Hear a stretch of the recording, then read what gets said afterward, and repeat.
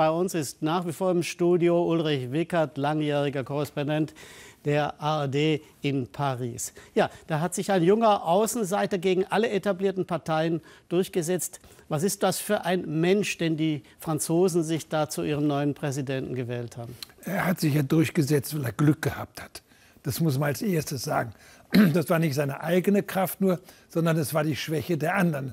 Es war die Schwäche von Fillon, der, der gewählt worden wäre, wenn er nicht diese ganzen Affären gehabt hätten, wo er seiner Frau und seinen Kindern Geld, staatliche Gelder zugeschossen hat. Es war die Schwäche der Linken, dass die einen Kandidaten hatten, der wirklich kein, mit dem kein Staat zu machen war. Emmanuel Macron war jemand, der mutig gewesen ist, der ganz klar gesagt hat, ich will mal einen neuen Weg in Frankreich versuchen, den bisher in der fünften Republik noch niemand versucht hat. Ich will kandidieren und zwar ohne eine Partei. Der ist ja auch kein, kein Mitglied der Sozialisten in den letzten Jahren mehr gewesen. Ich will selber eine Bewegung gründen und hat das sehr klug gemacht.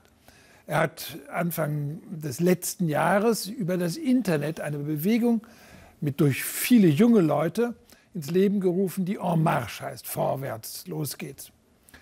Und da brauchte man sich nur über das Internet einzutragen, dass man sagt, ich mache mit, dann war man Mitglied. Und er hatte ganz schnell mehr als 200.000 Anhänger, die die Bewegung getragen hat. Und was wissen wir über sein Programm? Wir wissen mehr, als die Leute immer sagen. Sie sagen immer, wir wissen nichts über sein Programm. Er hat relativ viel über sein Programm immer schon wieder gesagt. Das Programm besteht aus mehreren Punkten. Ich glaube, dass der erste Punkt und der wichtigste Punkt sein wird, die Wirtschaft wieder anzukurbeln durch verschiedene Maßnahmen. Die wichtigste Maßnahme, das wird jeder Wirtschaftswissenschaftler Ihnen sagen, in Frankreich ist, das Arbeitsrecht so zu reformieren, dass die Unternehmen leichter Leute wieder anstellen. Das Zweite wird sein, die Bildung äh, voranzutreiben. Äh, da hat er auch Programme, dass er sagt, gerade in den Gebieten, wo es eben sagen wir mal, junge Leute gibt, die schwer ähm, in die Schule gehen, müssen die Klassen halbiert werden. Also da muss man 120.000 Lehrer zusätzlich anstellen. Das geht nicht ganz schnell. Das Dritte ist, wenn er sagt, wenn ich das Wirtschafts-, wenn ich das Arbeitsrecht verändere, dann muss ich auch die Arbeitslosigkeitsregeln verändern, dass die plötzlich für alle gelten. Sie gelten nicht für alle. Also da ist eine ganze Menge, was im Programm schon da ist. Ja, 35 Prozent, knapp 35 Prozent äh, für Marine Le Pen. Ist das ein Erfolg oder ein Misserfolg für Marine Le Pen? Grundsätzlich ist es ein Erfolg für Marine Le Pen, weil der Front National noch nie so viele Stimmen bekommen hat. Das sind etwa 11 Millionen Stimmen. Also bei der, beim ersten Wahlgang hat sie schon 7,5 bekommen. Auch so viel hatte der Front National noch nie bekommen. Also ist es grundsätzlich ein Erfolg. Misserfolg, weil sie nicht Präsidentin wurde. Aber diese große Anzahl von Stimmen ist enorm. Ist ihr die Entdämonisierung des Front National, wie sie immer sagte, dass das ihr Ziel ist, ist ihr das gelungen? Ist ihr weitgehend gelungen. Also sie hat einen Fehler gemacht in der Diskussion am letzten Mittwoch mit ähm, Macron. Da ist sie wieder die alte, die hässliche gewesen, die immer nur gemotzt hat und von Politik eigentlich wenig gesagt hat.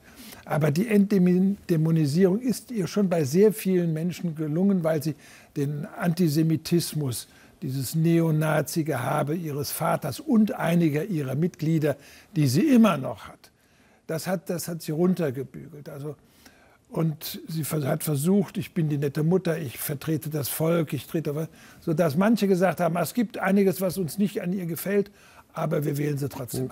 Wir werfen den Blick nach vorne. Schon in einem Monat sind Parlamentswahlen in Frankreich. Da muss Macron sich eine eigene oder eine neue Mehrheit in einer Koalition suchen. Wie beurteilen Sie seine Chancen, da zu einer Mehrheit zu kommen? Zunächst mal aus eigener Stärke mit seiner Bewegung En Marche. Ich muss sagen, das kann kein Mensch jetzt vorhersagen, was da passieren wird, weil das französische Wahlverhalten ist eigentlich so, dass die Franzosen sagen, jetzt haben wir einem Präsidenten die Mehrheit gegeben, jetzt geben wir ihm auch die Mehrheit zu regieren.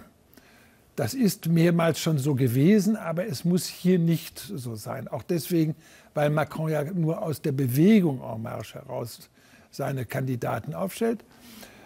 Weil wir nicht wissen, was passiert auf der Linken, wo Mélenchon, der Linksextreme, ja, der ja fast auch 20 Prozent bekommen hat, sich nicht durchringen konnte, aufzurufen, wählt Macron, weil er jetzt sich stark macht als derjenige, der die Linke in Frankreich repräsentiert. Und wo wird sich jetzt Macron Koalitionspartner suchen, wenn er keine eigene Mehrheit hat? Bei den Republikanern oder links? In der Mitte. Das ist das Problem. Er hat, er hat ja, gesagt, ich bin weder rechts noch links. Ja, ja. Er hat ja, ein, er hat ja ein, eine Koalition, Wahlkoalition schon mit dem bürgerlich-liberalen Beirut gemacht, jetzt zu dieser Wahl. Ich glaube auch, das ist einer der Gründe, weswegen er gewählt, gewählt hat. Aber dann muss man auch gucken, was passiert zum Beispiel auf der rechten Seite. Die Republikaner sind schon in zwei Blöcke gespalten, nämlich einen Block, der sehr nah am Front National ist, und dann aber einen Block, der sich an Macron rannähert schon und sagt, ja, wir müssen doch zusammenarbeiten. Äh, der 50-jährige Senator Barouin, der sagt immer, äh, ich bin auch bereit, Premierminister zu werden, äh, wenn wir die Mehrheit bekommen. Es gibt auf der Linken einige Politiker, wie zum Beispiel der Premierminister Walz, der unter den Sozialisten, der selber bei der Präsidentschaftskandidatur antreten wollte. Der hat gesagt, ich bin auch bereit, äh, mit Macron zusammenzuarbeiten. Wir müssen uns überraschen lassen. Wir, mal, ja. wir haben ein äh, paar Reaktionen von deutschen Politikern. Wir können ja mal anfangen von Christ, mit Christian Lindner, der sich folgendermaßen auf Twitter geäußert hat. Emmanuel Macron, Glückwunsch, haben im LSE jetzt einen Gesprächspartner, der Europa besser machen und nicht abwickeln will. Dann die Reaktion von Cem Özdemir, dem Spitzenkandidaten der Grünen. Glückwunsch, Emmanuel Macron. Danke, Frankreich. Jetzt steht die Bundesregierung in Verantwortung, Deutschland und Frankreich gemeinsam für ein starkes Europa. Und last but not least, Martin Schulz. Herzlichen Glückwunsch, Emmanuel Macron. Und jetzt machen wir Europa gemeinsam besser. Also ganz viel Hoffnung auf einem jungen 39-jährigen der heute Präsident von Frankreich wurde. Herzlichen Dank an Sie, Ulrich Wickert, dass Sie uns durch diesen Abend begleitet haben, inzwischen schon sechseinhalb Stunden lang. Herzlichen Dank.